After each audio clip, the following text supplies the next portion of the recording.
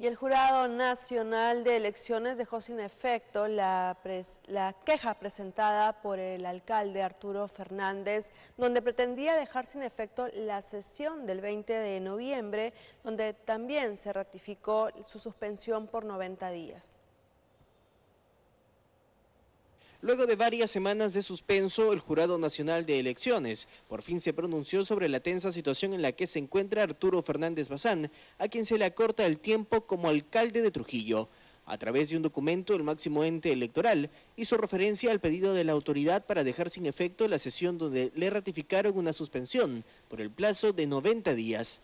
El jurado le dijo que no a Fernández y en su lugar confirmó la validez del proceso que se realizó en las instalaciones de la municipalidad, pero en un ambiente donde los regidores buscaron evitar los ataques y hasta agresiones de los manifestantes, a los que los propios gerentes municipales dejaron ingresar para defender a Fernández.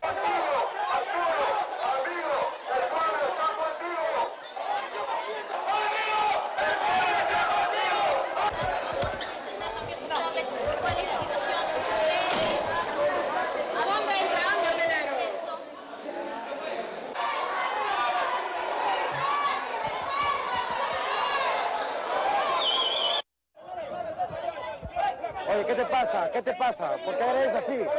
¿Por qué agredes así? Pero no puedes hablar, habla, habla. Aquel día ni los periodistas que cumplían su rol informativo se salvaron del lenguaje de odio, promovido desde la autoridad municipal. Ahora el Jurado Nacional de Elecciones tiene que decidir si con todos los actos suscitados, y más aún con el pedido principal de quien presentó el requerimiento, obteniendo el voto favorable de los regidores, Arturo Fernández sigue como alcalde o le retiran las credenciales.